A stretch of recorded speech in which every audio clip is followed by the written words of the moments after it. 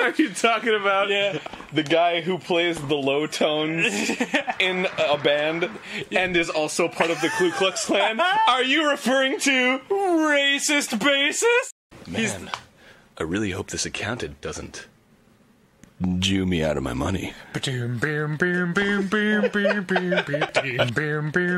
Bam bam bam bam bam bam bam bam petite. Bam bam bam bam bam bam bam petite. Bam bam bam bam bam bam bam petite. Bam bam bam bam bam bam bam petite. It'd be cool if racist bassist had like uh, another member, like um, like bummer drummer. Yeah, it's extra tough because my wife left me.